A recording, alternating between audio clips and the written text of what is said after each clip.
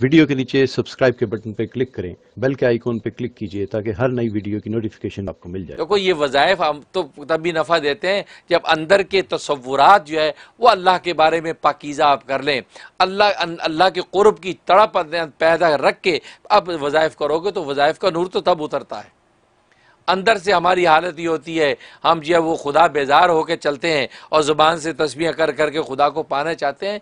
अल्लाह तो ज़बान ही हमारे कलब को देखता है। सवाल मकबूल वसीम साहब वाशिंगटन डीसी से ये पूछ रहे हैं कि उनकी लोअर बैक में 2016 से बहुत ज़्यादा तकलीफ़ें ना खड़े हो सकते हैं और ना चल सकते हैं। सब किस्म के इलाज करवा लिए सब कुछ हो गया कोई अफाका नहीं है। आ, सिर्फ़ वो अपनी ज़िंदगी में सिर्फ़ बैठ के ही गुजारा कर रहे हैं यानी बैठ जाते हैं ना खड़ा होना और चलना बहुत मुश्किल हो गया। उन्होंने कुछ इलाज पूछा अल्लाह अकबर। अल्लाह ताला आपको से तो आफियत अदा फरमाए उसके लिए आप नोट कर लें कि फजर की नमाज़ फजर की नमाज़ से पहले ये अमल करना है। यानी सुनतें पढ़ लें, उसके बाद पढ़ लें, या फजर ताजुद के वक़्त में आप ये अमल कर लें। और वो ये करना है कि एक जग में पानी अपने सामने रखना है। और अव्वल आखिर ग्यारह मरत पर दरुद इब्राहिमी पढ़ना है। और उसके बाद जो आपने सूर फातिहा पढ़नी है, बिस्मिल्लाह मिला के एक सौ एक दफ़ा। बिस्मिल्लाह रहीम मिल हमदिल्ला रबालमीन करके आमीन तक। एक सौ एक दफ़ा पढ़नी है। उसके बाद आपने जो है आयतुल कुर्सी पढ़नी है सात दफ़ा सेवन टाइम आयतुल कुर्सी। फिर तीन तीन दफ़ा सूर फलक और नास पढ़नी है। और फिर जो आखिर में सूरत अम्बिया की आयत नंबर सिक्सटी नाइन ये पढ़नी कुलना या नारुकूनी बरदम व सलाम अला इब्राहिम।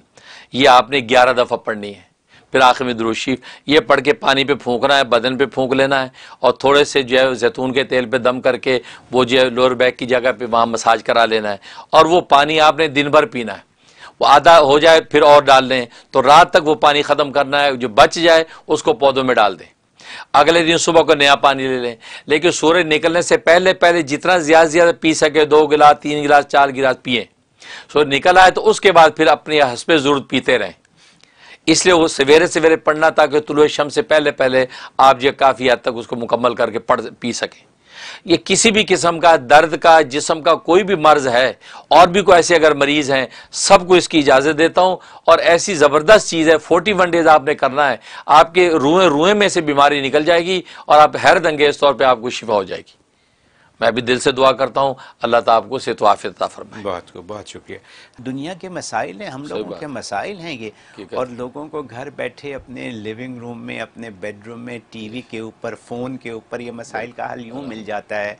और और और और माशाल्लाह अल्लाह आपको क्या कह सकता हूँ ज़िंदगी दे और सेहत दे और तंदुरुस्ती दे और ऐसे ही रखे हमेशा।